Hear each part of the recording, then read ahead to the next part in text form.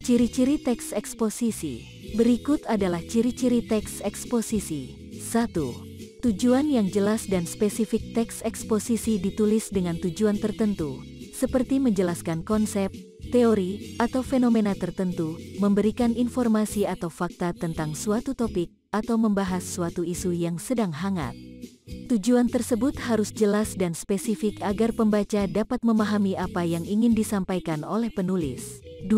Struktur yang terorganisir teks eksposisi memiliki struktur yang terorganisir dan sistematis. Penulis biasanya menggunakan pendekatan yang logis, seperti penggunaan subjudul, urutan kronologis, atau urutan berdasarkan prioritas. 3. Bahasa yang formal teks eksposisi menggunakan bahasa formal dan akademik. Bahasa yang digunakan harus mudah dipahami oleh pembaca, tetapi tetap menggunakan istilah-istilah teknis dan akademik yang terkait dengan topik yang dibahas. 4. Pendekatan objektif teks eksposisi biasanya menggunakan pendekatan objektif, artinya tidak terlalu banyak menggunakan pendapat atau emosi pribadi penulis. Tujuannya adalah untuk memberikan informasi atau fakta yang akurat dan dapat dipercaya kepada pembaca. 5. Menggunakan fakta dan data teks eksposisi menggunakan fakta dan data untuk mendukung argumen atau pendapat yang disampaikan.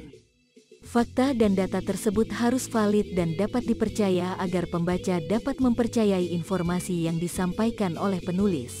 6. Menggunakan gaya bahasa yang konsisten teks eksposisi menggunakan gaya bahasa yang konsisten sepanjang teks.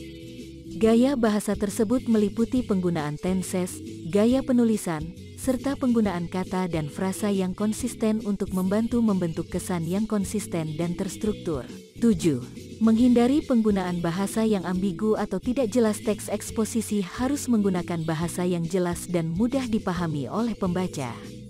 Penggunaan kata-kata atau frasa yang ambigu atau tidak jelas dapat menyebabkan kesalahpahaman dan membingungkan pembaca. 8. Memberikan kesimpulan atau rangkuman teks eksposisi biasanya diakhiri dengan kesimpulan atau rangkuman tentang topik yang dibahas.